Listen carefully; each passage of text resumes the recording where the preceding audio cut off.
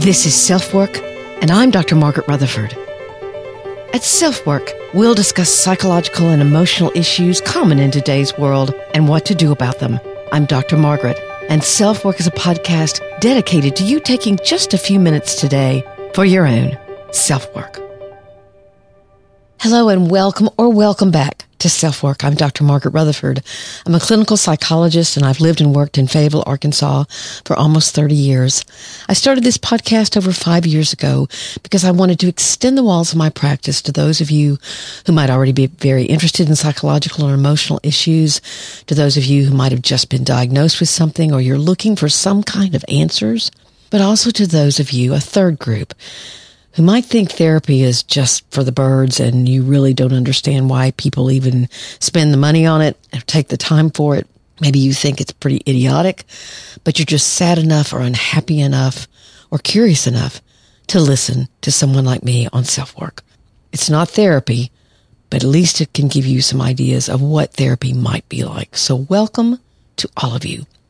One of the hardest, even most cruel things about depression is the very darkness of your thoughts, the hounding of your mind and heart with feelings that seem to have the power at times to wipe all rationale from your consciousness and bury you with shame, worthlessness, distrust, and complete disbelief that anything might ever change. You'll never feel better. Fighting through, trying to use a mind that's already fatigued and foggy, and it can seem that ruminations and obsessions are trying to destroy any hope you might have. So today we're going to talk about those vicious lies that depression tries to convince you of. As always, I will focus on what you can do about it to help you fight this battle and maybe even overcome it. The listener email is from someone whose therapist, with whom she'd been working for over five years, terminated their work together because of retirement. The issue seems to be that she let people know only a couple of months before she stopped doing therapy. Now the patient is asking, why should I do this again? Why should I go to therapy again? This hurts too much. So I'll try to help her with those questions and that grief. Today's episode is sponsored by BetterHelp, and I'm happy to say that they've been a sponsor of Self Work now for two years, and many of you have written to me that their services have been more than helpful. Virtual therapy has become pretty normal now during the pandemic, and BetterHelp offers many ways for you to get therapy conveniently and easily, while also doing the important work you may need to do. But today, let's talk about severe depression's lies, or even moderate depression's lies, and of course, what you can do about it when you hear them.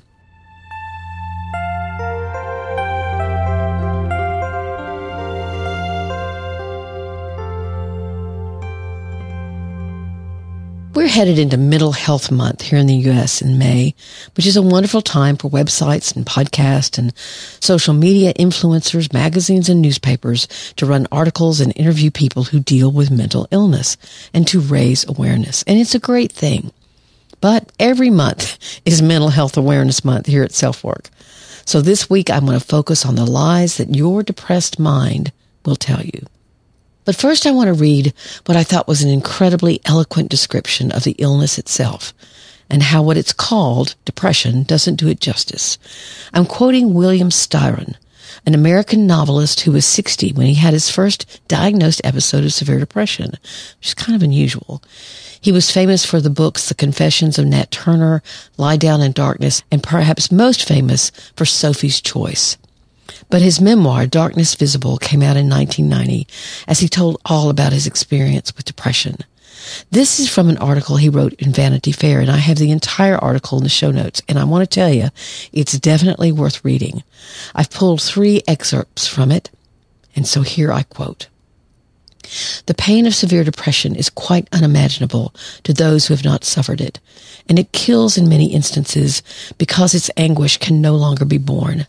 The prevention of many suicides will continue to be hindered until there's a general awareness of the nature of this pain.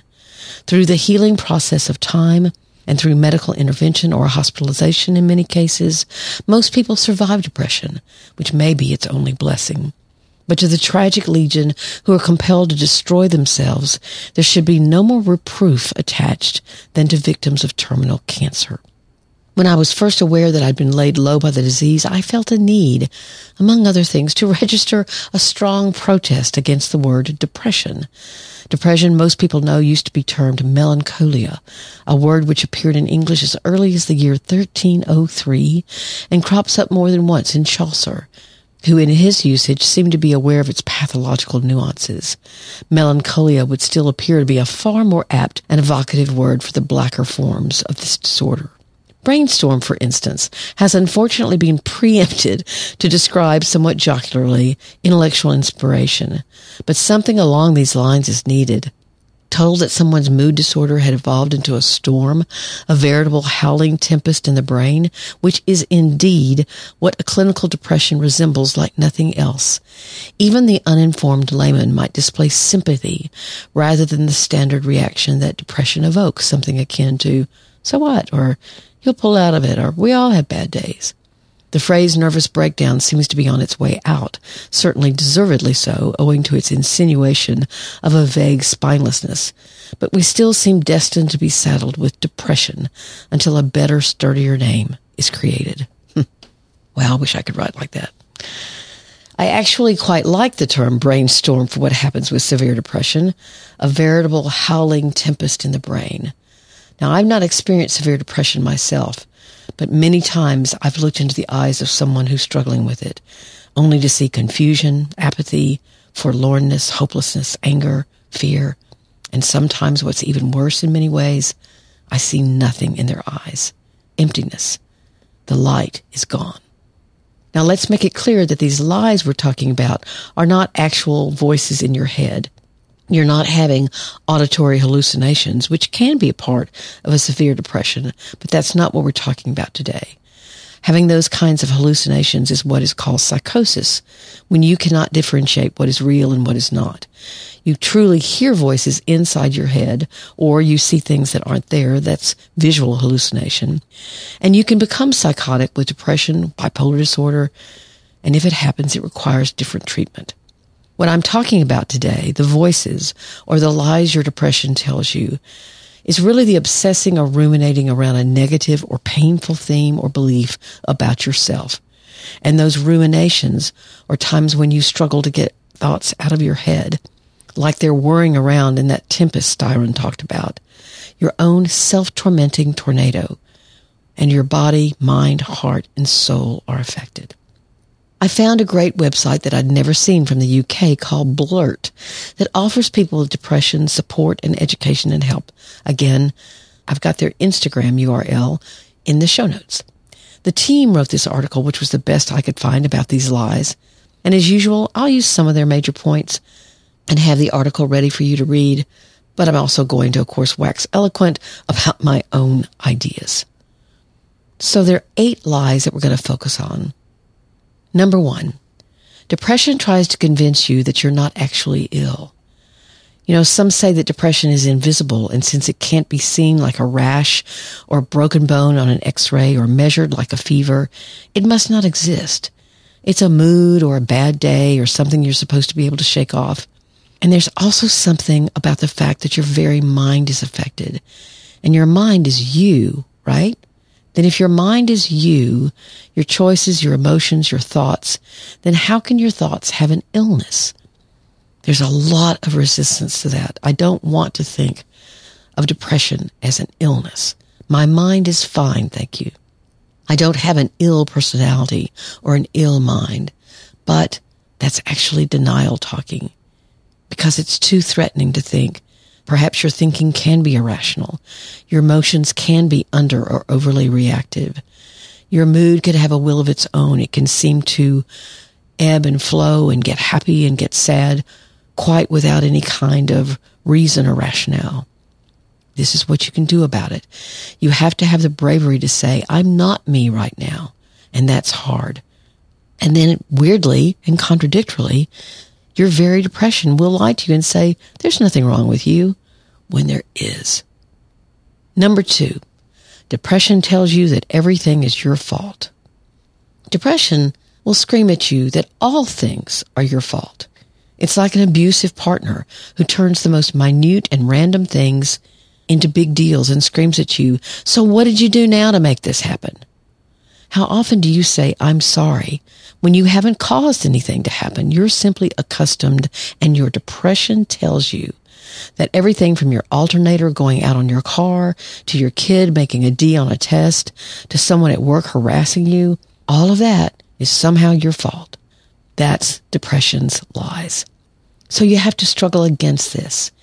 You have to work to become aware of what in reality you're in control of and thus have some responsibility for, but also what you don't have control over and had nothing to do with it happening. To make this point in my office, there's a stop sign right outside my office window. And sometimes when I have a patient who blames themselves for everything, I'll say, so if you saw a car run that stop sign and maybe even hit a pedestrian, would that be your fault? Sometimes, believe it or not, they'll say, well, you know, I could have raced out onto that porch and yelled at the person to get out of the way.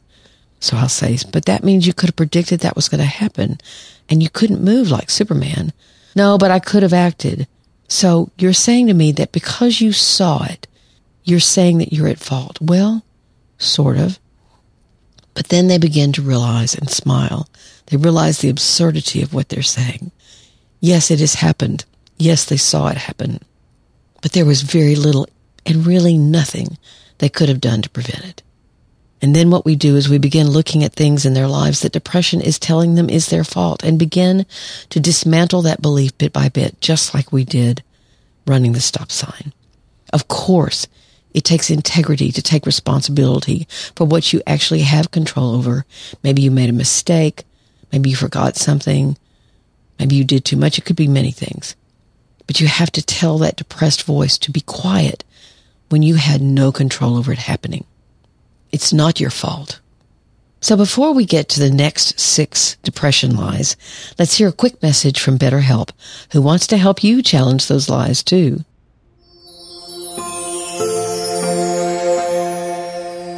BetterHelp has been a sponsor of Self Work for at least a year or more, and I'm so glad to have them on board. BetterHelp isn't a crisis line, and it's not self-help. It's actual professional therapy online. And as I've done much more virtual work during the pandemic, I've seen firsthand how effective and convenient virtual work is.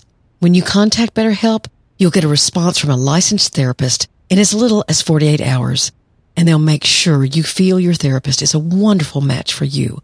I, of course, tried this, and I was impressed with the therapist they presented to me as well as what the therapists themselves offered. And BetterHelp and I want 2022 to be your most mentally healthy year ever. So just visit betterhelp.com slash selfwork and you'll get a special offer to get 10% off your first month of BetterHelp. Again, that's betterhelp.com slash selfwork. Hope you'll give it a try, especially getting 2022 off to a great start.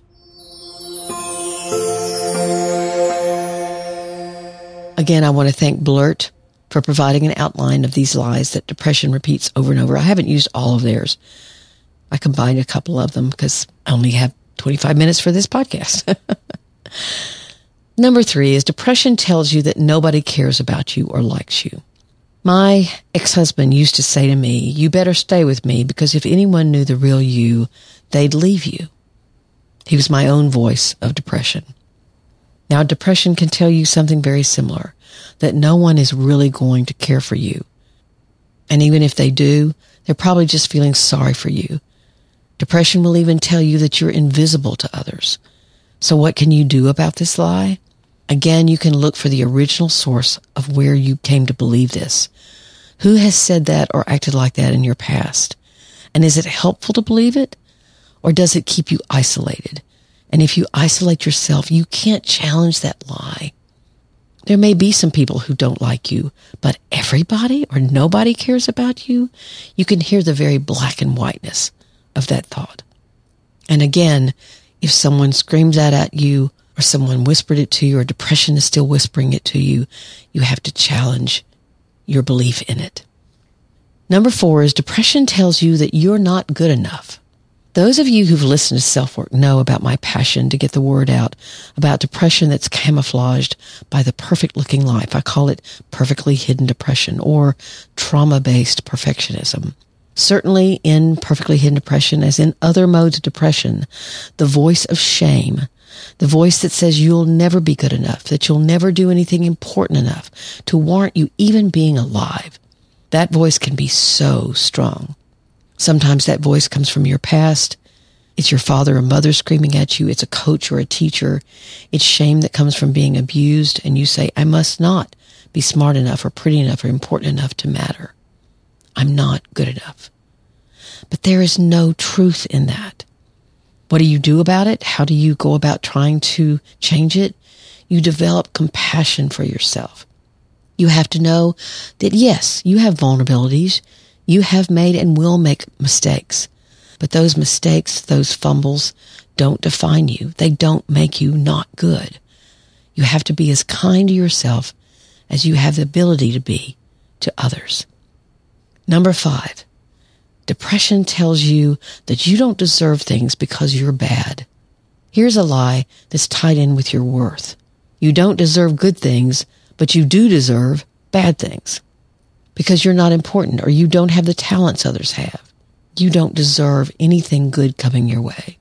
Another lie that belongs with this is that you always have to earn everything you receive. Now think about that for a minute. Do you really have to earn everything you receive? No, you don't. You deserve kindness and caring, not because you earn it, but because you exist. So many children are raised to believe that even the most basic good things have to be earned, usually by doing what a parent tells you to do.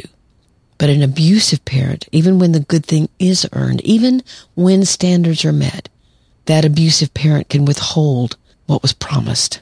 And thus, you learn that no matter what you do, you don't deserve good things happening, that no amount of earning works for you. So you must be worthless. You must be bad. You should be punished. And your depression will do that. It will punish you by saying you don't deserve it. You don't deserve things because you're bad. And that is a lie. Yes, there are certainly things in life that you set your sights on and work hard to accomplish. But your very worth is not one of those things. Your worth is intrinsic to your very being.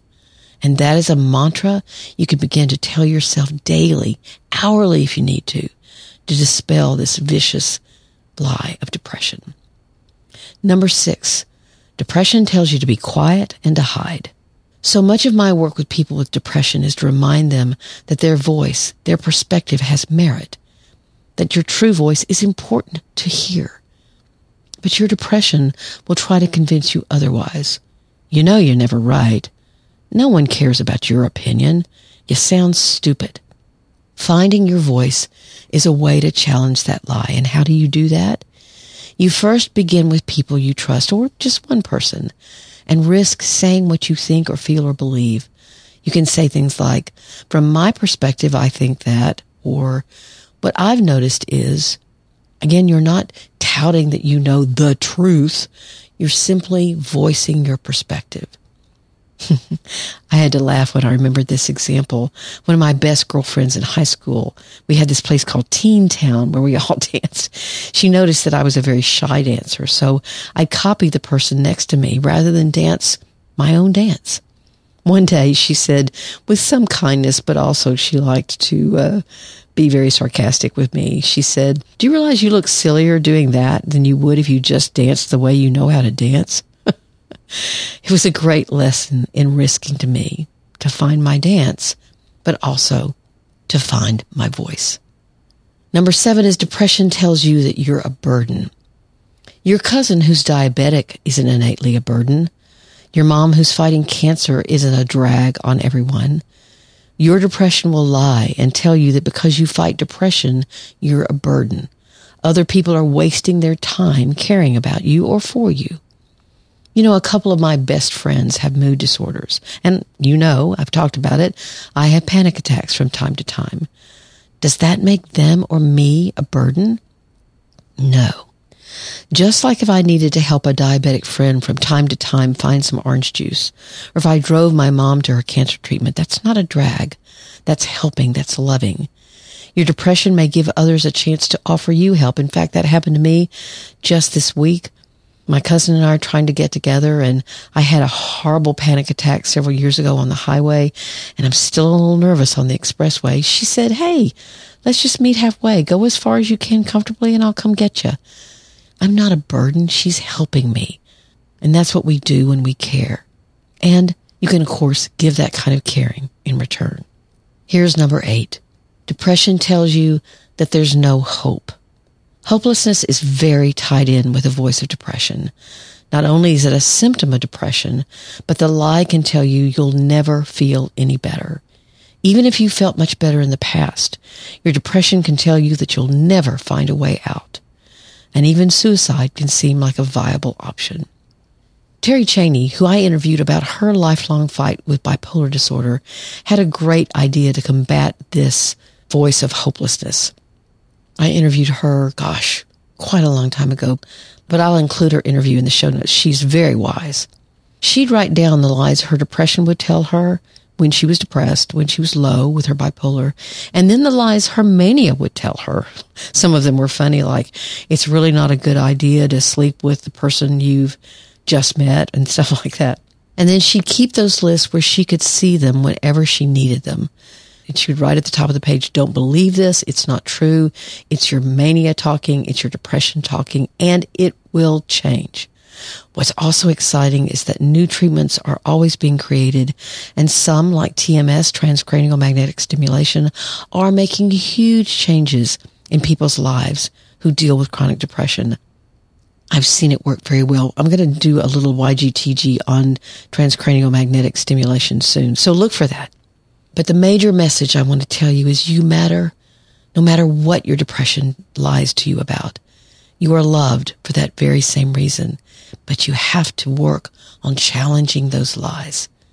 There's something you can do about it and you will free yourself from those lies. Maybe not every day. Maybe some days will be harder than others. But if you know depression lies, you don't have to listen to it. You don't have to believe them.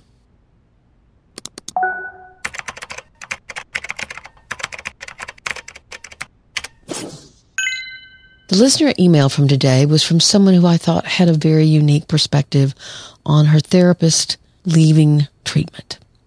She says, Dr. Rutherford, I've been working with my therapist for the past five years or so, often weekly sessions. She recently retired, giving, in my opinion, a rather short notice. I later learned that it was about two months.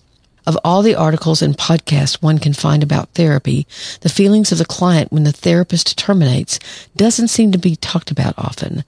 I am struggling. Grief, and I have a lot of shame and embarrassment feeling this way. Maybe my adjustment disorder that brought me into therapy in the first place isn't helping. I think clients entering therapy should be made aware that exiting therapy could be just as hard. She gave me a referral to a new therapist, but it seems pretty stupid that I would do this again. I became too attached. Any thoughts?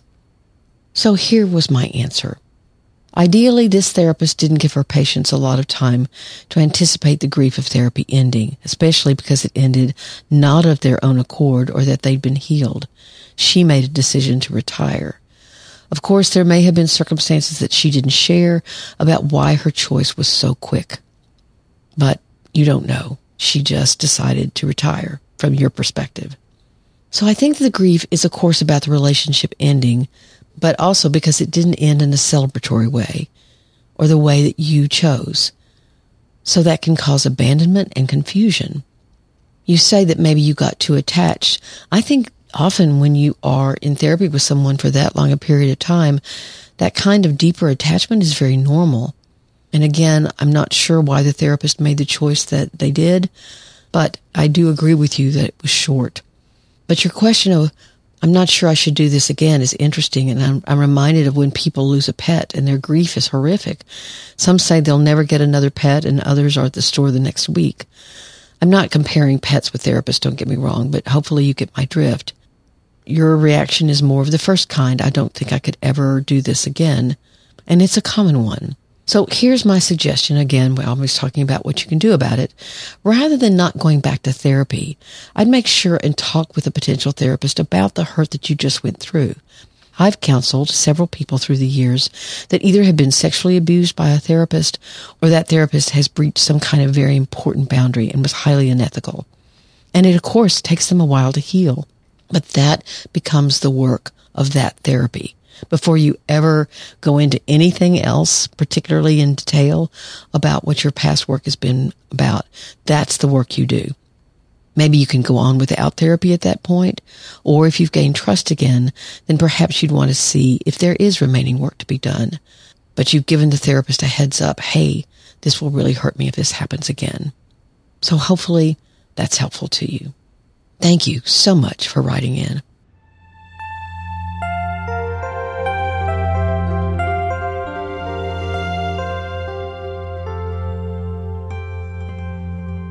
Thank you so much for being here. I want to thank Probably Anxious was the title she gave herself. She says, I recently discovered this podcast just by searching depression and anxiety. I just love Dr. Rutherford. Thank you so much.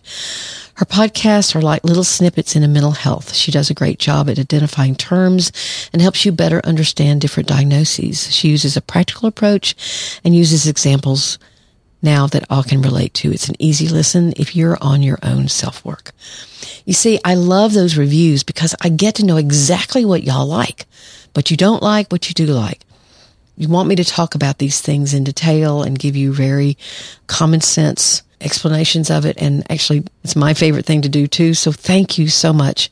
Probably anxious for, for that review on Apple podcasts. Also, I've gotten several new ratings for my book, Perfectly Hidden Depression, and I so appreciate that. Perfectly Hidden Depression is a book that contains over 60 exercises that will help you begin to recognize how frightened you are of losing control of your emotions and that actually you have memories that you have hid from and stored away for so long. It's you've acted like you're just fine all the time and you have this perfect life when really you have some inward despair and loneliness. So even if you don't think you're a perfectionist, you might want to pick up this book. It's an ebook. It's an audio book. And I so appreciate the new ratings. I've gotten several this week. Thank you. We're growing by leaps and bounds here at Selfwork. So I know that's because you're telling your friends and family or loved ones about listening to Selfwork. And I'm so very, very, very grateful. I'd love for you to join me over to Instagram at Dr. Margaret Rutherford. I do sometimes Instagram lives and I love talking to people and, you know, actually being able to in real time to answer questions. That's a lot of fun. And also I have a Facebook closed group at facebook.com slash groups slash self-work. Love to have you over there as well. Again, my gratitude for you being here. Take very good care of you, of your loved ones, and of your community. I'm Dr. Margaret, and this has been self work.